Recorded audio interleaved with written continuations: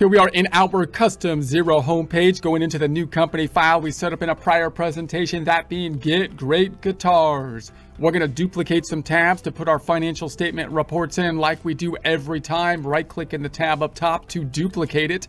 Then we're going to right click on that duplicated tab to duplicate it again.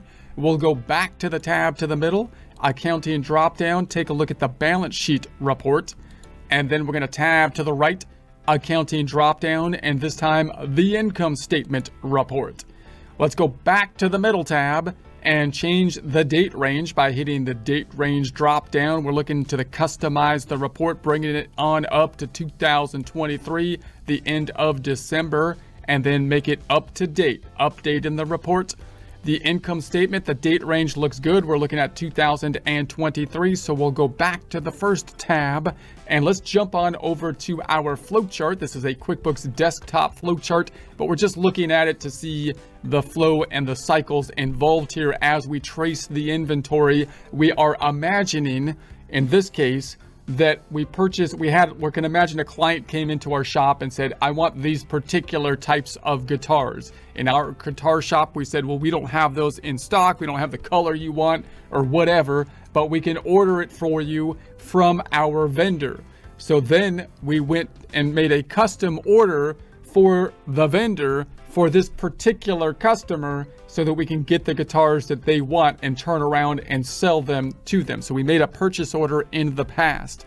And then when the guitars came in, we we imagine the guitars came in with a bill connected to the box of guitars and we could have at that point entered the bill into the system, the physical bill, we could have entered into our bill in Xero, which would have increased the accounts payable. But instead of doing that, we just paid it at that point in time with basically a check type form, a money out form.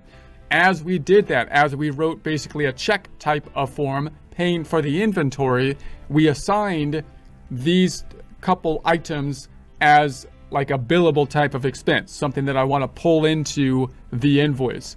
Now, this is a tricky, this is where it gets a little bit messy because oftentimes when we think about that billable kind of functionality, we're not thinking about it with inventory oftentimes, but rather with other things like gas and stuff like that that we want to pull on over into the invoice.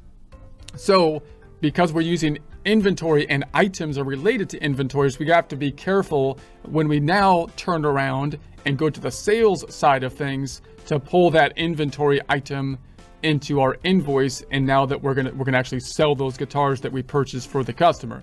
So to see this let's hit the let's go to the Xero. Let's go to the tab to the right. I'm going to right click on this tab and duplicate it again. And i would like to run another report for the billable items. So i'm going to hit the uh, accounting drop down and go into reports.